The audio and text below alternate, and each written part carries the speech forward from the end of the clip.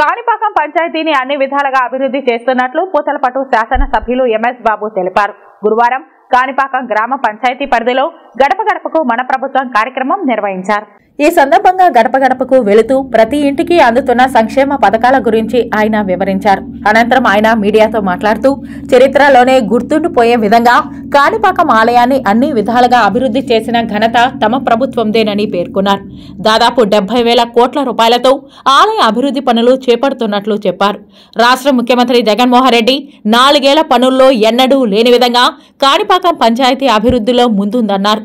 చంద్రబాబు నాయుడు పాలనలో ఏమాత్రం కూడా అభివృద్ధి అభివృద్ధికి నోచుకోలేదన్నారు. గడప గడపకు ఈ రోజు తిరుగుతుంటే ప్రజలందరూ బ్రహ్మరథం పడుతున్నారంటే అది ముఖ్యమంత్రి జగన్మోహన్ రెడ్డి తీసుకొచ్చిన సంక్షేమ పథకాలేనని అన్నారు. ముఖ్యమంత్రి జగన్మోహన్ రెడ్డికి వస్తున్న ప్రజా ఆదరణ చూసి ప్రతిపక్షాలు ఓర్వలేకపోతున్నాయని తెలిపారు. పవన్ కళ్యాణ్ చేస్తున్న ఎత్తుగడలను ప్రజలు స్వీకరించరని త్వరలోనే జరగనున్న ఎన్నికల్లో ప్రజలు తగిన గుణపాఠం చెప్పే రోజులు దగ్గరలోనే ఉన్నాయన్నారు. ఈ కార్యక్రమంలో సర్పంచ్ శాంతి సాగర్ రెడ్డి కాణిపాకం ఆలయ చైర్మన్ మోహన్ రెడ్డి కన్వీనర్ బుజ్జిరెడ్డి నాయకులు చెన్నారెడ్డి సుధీర్ చంద్రారెడ్డి అధికారులు తదితరులు పాల్గొన్నారు. దాని మీద ప్రభుత్వం చేసే ఒక కార్యక్రమం అన్ని విధాలుగా చరిత్ర మారిన కాణిపాకం. ఇంతవరకు మీకు తెలుసు చంద్రబాబు నాయుడు ఎంతో మంది సీఎం చేశా కానీ ఇక్కడ అభివృద్ధి చేసింది ఏం లేదు మా ముఖ్యమంత్రి వచ్చి నాలుగు సంవత్సరంలోనే దాదాపు ఇక్కడ చరిత్ర మారిన గుడిని కూడా మా ఎంతవరకు డెవలప్ అయింది. మీకే తెలిసి వచ్చేసి. దాన్ని కూడా ఎక్కడ చేస్తామంటే మా ప్రభుత్వం వచ్చినాక మా మంచి నాయకుడు వచ్చిన వాళ్ళనే దర్శనంలో తెలియజేస్తాం. ఈ రోజు మన క్రమం మొన్న మొన్న సురక్ష కార్యక్రమం చేస్తున్నాము. ప్రతి ఇంటికి ప్రతి ఒక్క ఆధార్ కార్డు లింక్స్ లేని వాళ్ళు కూడా అన్ని చేసిన కార్యక్రమం. పథకంలో సర్టిఫికేట్ ఇస్తున్నాం వచ్చేసి.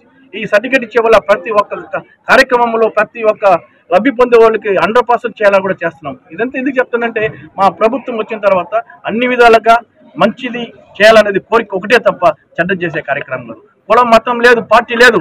కానీ చేసే ఒక నాయకుడు గొప్ప నాయకుడు ఎవరంటే మా వైఎస్ఆర్ జగన్మోహన్ తప్ప ఇంకెవరో కాదు. ఇవన్నీ చేస్తే కూడా దుష్ట ప్రాసం చేసి ఈ చంద్రబాబు నాయుడు ఈ పవన్ కళ్యాణ్ తప్పుడు మాట మాట్లాడుతున్నారు. ఇవన్నీ కూడా మాట్లాడేటప్పుడు ఆలోచించి మాట్లాడాలా? వాళ్ళకి బుద్ధి ఉండదా? బుద్ధి లేదు. కానీ ఆ బుద్ధి లేకుండా మాట్లాడరు. ఆడ పవన్ కళ్యాణ్ ఆవిడ బేవర్స్ కూడా వచ్చేసి పనికిరాని వాడు వచ్చేసి. ఎటువంటి మాట్లాడతా కూడా తెలియదు వచ్చేసి. నోటికి వచ్చి మాట్లాడతాడు.